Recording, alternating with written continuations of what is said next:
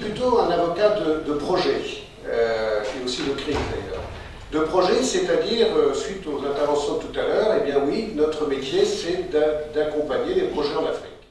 Et aujourd'hui, ben, les projets en Afrique, il y en a beaucoup. Alors il y en a de deux grandes sortes, je dirais. Il y a ceux qui font l'objet de plus d'optimisme aujourd'hui que d'autres, c'est ceux qui viennent d'être décrits avec extrêmement d'intelligence, de brillance et de pertinence par les deux interlocuteurs qui m'ont précédé, c'est ceux qui sont plus dans le domaine privé, c'est-à-dire des investissements dans, le digital, dans les, dans les, entreprises, PME et autres, qui sont, et ça a été souligné, à mon avis, l'avenir de l'Afrique, notamment sur le plan de l'emploi et de la formation, incontestablement, et un avenir absolument incontournable de l'Afrique. Et d'un autre côté, il y a des investissements et des projets qui sont avec les États et là qui nécessite une attitude différente, parce que les risques sont différents, et c'est là où le réalisme doit absolument prendre toute sa place. On ne peut pas se permettre d'être dans, de baigner dans une espèce quelquefois d'afro-optimisme à tout craint. Euh, il convient non plus de baigner et de tomber dans l'afro-pessimisme qui a régné pendant plusieurs années. Il est extrêmement important dans notre situation de faire preuve de beaucoup de réalisme. Je vous donner un exemple. Par exemple, un investisseur, et même privé, ça peut même être une PME, quelquefois dans certains pays, qui va investir dans l'eau et l'électricité. Ce sont des investisseurs qui forcément vont avoir affaire aux États, puisque ça fait partie des activités euh, qui relèvent de, de l'État. Eh bien, l'eau et l'électricité, le risque par rapport à quelqu'un qui va faire du digital, qui va faire une PME, etc., n'est pas du tout même. Pourquoi? Parce que le risque, c'est qu'un jour l'État dise Oh là là, mais vous êtes en train de vendre l'électricité beaucoup trop cher pour nos populations, ça ne va pas, moi avoir des problèmes politiques, euh, on ne peut pas faire ça, vous ne pouvez pas augmenter l'eau, vous ne pouvez pas augmenter l'électricité, ça n'est pas possible, ça va me mettre, moi, l'État, dans une difficulté politique. Donc vous voyez bien que là, le risque, il, est, il existe. Et il n'est pas le même que celui qui sera dans un rôle uniquement privé, c'est-à-dire par exemple dans le, le magasin ou dans d'autres agricultures, etc. Ce sont des risques que nous devons prendre en compte. Donc on va devoir être un petit peu négatif, très probablement un petit peu très prudent, donc réaliste et prudent. Je trouve que nous ne pouvons plus, nous ne pouvons pas être ou plus être uniquement des avocats qui sommes des avocats de la lecture des codes. Ça, c'est un préalable, le respect du droit, naturellement.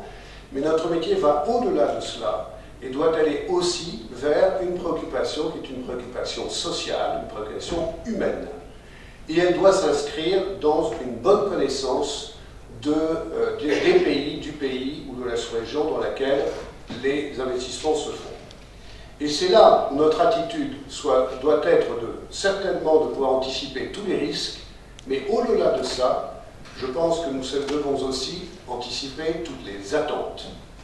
Et ça, c'est quelque chose de très particulier, car notre position d'avocat en France, aux États-Unis, en Russie, en Afrique pourrait être la même pas nécessairement dans tous les domaines. Et les populations attendent des entreprises en Afrique parfois plus que dans d'autres pays du monde. Et c'est là où effectivement notre rôle est un rôle qui va au-delà du rôle uniquement de lire la loi, qui est un préalable. Donc vous voyez, en Afrique, on a pris de l'avance sur le plan du droit, et je suis content de le dire. Et l'Afrique prend de l'avance sur plusieurs choses en réalité, on ne s'en aperçoit pas, comme par exemple le droit sous-régional, mais aussi ici, la prise en compte des aspects sociaux et environnementaux en Afrique est quelque chose de primordial que l'on va commencer à envisager dans nos pays. Aussi, une chose essentielle d'un droit qui est en train de naître et qui sera très fort en Afrique, et qui l'est déjà, je traite de très nombreux confrères, c'est le fait qu'en Afrique, il y a des attentes aussi sur le fait qu'on peut gagner beaucoup d'argent, on peut gagner des milliards, on peut gagner beaucoup d'argent, mais il y a une limite. Il y a une limite ça ne peut pas être au détriment des droits fondamentaux des êtres humains, des communautés locales, des femmes dans les matières de discrimination, des travailleuses, travailleurs, on a vu ce qui est arrivé en Afrique du Sud et dans d'autres contrées. On ne peut pas avoir de projet en Afrique au détriment des droits fondamentaux. Et quand je vous dis ça, c'est fondamental. Il y a aujourd'hui une usine dans un pays d'Afrique qui produit des chaussures pour femmes, ça pourrait être pour hommes, avec des femmes qui travaillent 28 jours sur 30 12 heures par jour, payer 16 euros par mois. Est-ce qu'on peut encore porter ces chaussures? Il y a aussi des minerais qui sont produits dans nos téléphones et qui viennent et qui ont été pris par les ongles, par les enfants dans certains pays pour être mis dans des sacs et vendus sur les marchés.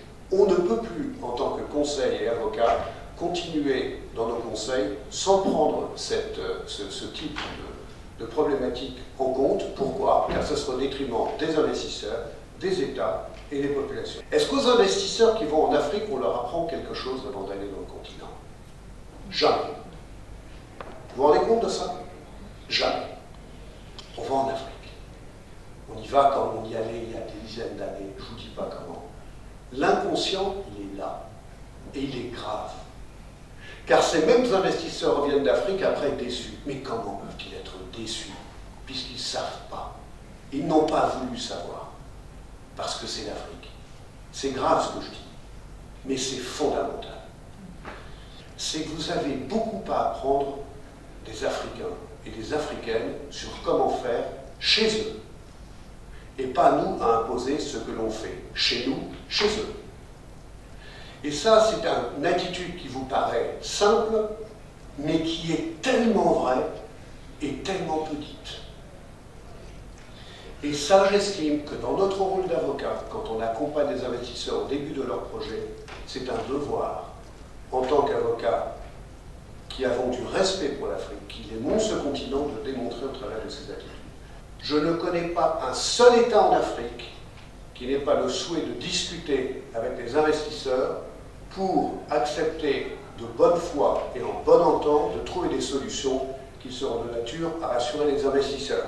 Encore faut-il poser les bonnes questions et pouvoir bien jauger les risques ensemble. Pour conclure, très souvent, on dit que, je dirais que pour avoir un investissement à long terme sur le plan juridique, il faut avoir anticipé tout ce que je viens de dire, plus deux choses. Un, respecter strictement le droit, strictement la loi. Trop d'investisseurs vont en Afrique en se disant ça s'arrangera. Ça n'est pas la bonne méthode. Mais la deuxième chose, c'est que de respecter le droit n'est pas suffisant. Il est une notion, au travers de 30 ans d'Afrique, il y en a plusieurs d'ailleurs, mais il y en a une qui m'a beaucoup sensibilisé et que je trouve plus forte dans ce continent qu'ailleurs, c'est la notion du juste. Et la notion du juste est une notion contre laquelle on ne peut jamais aller en Afrique pour y faire un investissement à long terme.